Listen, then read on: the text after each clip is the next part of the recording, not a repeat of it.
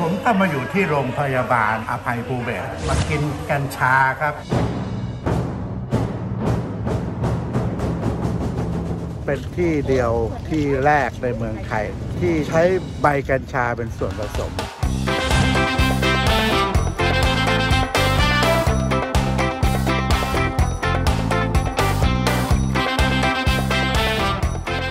วันนี้ลงมา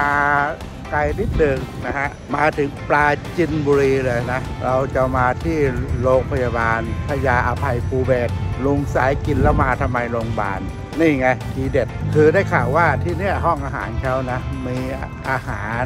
ซึ่งแบบใช้ใบกัญชาเป็นส่วนผสม แล้วก็เป็นที่เดียวที่แรกในเมืองไทย เดี๋ยวเราไปดูกันว่า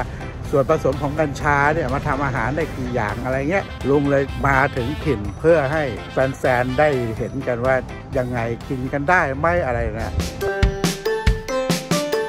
นี่ครับโรงพยาบาลพระยาอภัยภูเบศเดี๋ยวเราเข้าไปที่ส่วนห้องอาหารเขาเลยครับ ครับถ้าเข้ามาเลยฮะเรามาที่นี่เลยเป็นห้องอาหารนะ ห้องอาหารของโรงพยาบาลก็คือห้องอาหารนี่เลยครับ ตามมา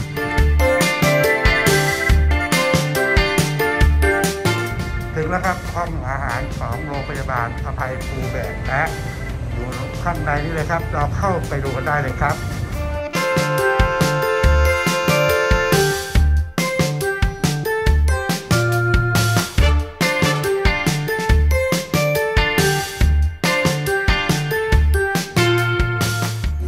นี่ครับลุงก้านี่คือเมนูของโรงพยาบาลเขานะฮะเขาเชื่อชื่อร้านมาชิมกัญชาเป็น concept ของเขาคือ ใช้กัญชาทั้งหมดนะฮะ เป็นกัญชาส่วนผสมในอาหาร เขาบอกว่าตามมายี่ห้าห้ามทานอะไรอย่างเงี้ยคุณก็ลองมาดูกันเนี่มีเล้งแซ่บเนี่ยหนึ่งร้อยบาทนะฮะขนมปังคึกคักก็คือขนมปังหน้าหมูมีใบกัญชานะฮะอันนี้กะเพราปลุกใจ อันนี้ก็ลื่นเริงบันเทิงยำนะอันนี้ก็เป็นก๋วยเตี๋ยวหมูตุ๋นนะฮะถ้าสนใจแล้วนี่คือเบอร์ของเขาครับ อันนี้เป็นเครื่องดื่มนะก็เป็นมัทฉะนะฮะผสมกัญชา มัทฉะสายเขียวใส่กัญชาด้วยนะ ทุกอย่างเมนูวันนี้ที่สั่งมานี่ เป็นกัญชาในส่วนผสมทั้งหมดนะฮะ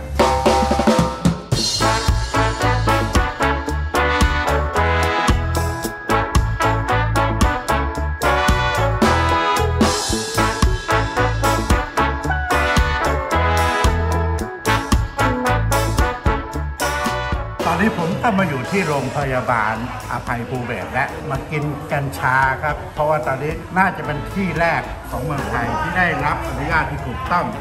นะฮะแล้วก็คนที่นั่งกับผมคือคุณหมอแอคครับ แอคชั่น คุณหมอแอคชั่นครับนะฮะคุณหมอลองเล่าอธิบายคร่าวๆดีนะว่าคืออะไร ก่อนหน้านี้ก็คือเราทำมาเป็นยาอยู่แล้วครับนะครับที่เราได้รับอนุญาตมาอ่านะทำยาให้ให้คนไข้อ่า นะฮะโครงการอาหารเนี่ยก็เป็นอีกส่วนหนึ่งที่เราต่อยอดส่วนที่เหลือของกัญชาอ่า นะฮะก็คือใบนะครับแล้วก็เอามาพัฒนาเป็นเมนูอาหารสำหรับต่างๆ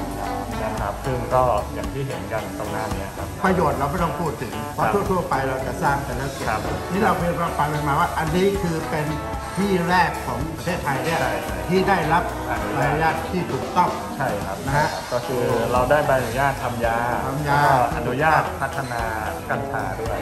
งั้นไม่เป็นไรนะเดี๋ยวเมนูทั้งหมดนี่เดี๋ยวเราผมจะลองทานดูนะได้ผมจะไม่รบกวนคุณหมอเพราะคุณหมอภารกิจเยอะครับที่เข้ามานี่ก็ขอบคุณมากครับนะได้แต่ไม่อันนี้เดี๋ยวต้องฟังคุณหมอเท่านี้ก่อนครับเดี๋ยวเรามากินกันว่าอะไรเป็นยังไงจานแรกนี่เลยครับ เป็นข้าวผัด กะเพรากัญชานะฮะเนี่ยมีส่วนผสมของกัญชา รู้สึกจะให้กี่ใบสองใบต่อหนึ่งจานหรือยังไงนะฮะเดี๋ยวเราลองดูให้ครบก่อนเดี๋ยวลุงจะมาทยอยกินให้ดูครับนี่ก็เป็นหมูตุ๋นนะฮะจะบอกไว้ก่อนเลยว่าทุกเมนูนะ จะมีส่วนผสมของใบกัญชามากน้อยตามที่กำหนดไว้นะฮะลุงจะไม่แจ้งนะฮะว่ามีกัญชาชามไหนมีทุกชามฮะในเมนูที่ลงวันนี้ครับ อันนี้ก็เป็นเล้งครับเล้งแซ่บ เล้งแซ่บที่ใส่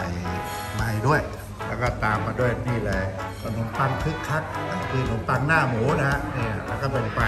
กัญชานะฮะ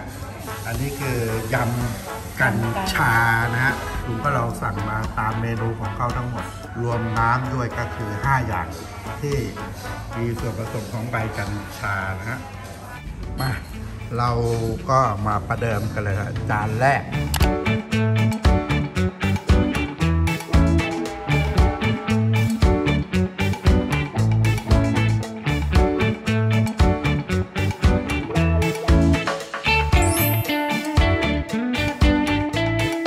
เป็นคำแรกที่ลุงกินนะของกะเพรากัญชาลุงก็ไม่เคยกินกัญชามาก่อน แต่ก็รู้สึกว่าไม่มีอะไรแตกต่างนะเพราะว่าอร่อย นี่เลยครับ เดี๋ยวลุงลองกินดู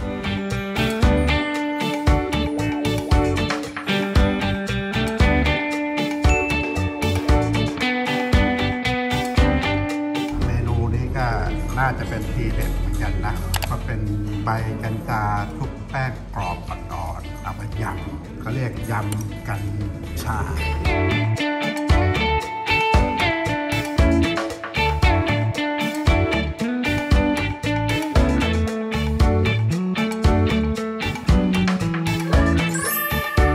รสชาติดีอันนี้กรอบลุงชอบอะเมนูนี้ก็เป็นหมูตุ๋นครับคิดว่าน้ำนี่ก็ใบที่คงใส่ผสมในตอนทำซุปนะฮะ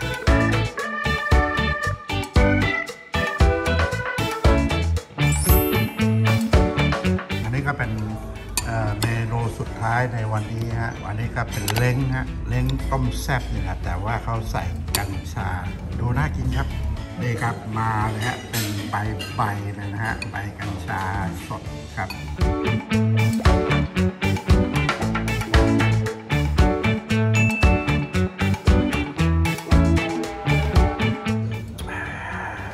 อะไร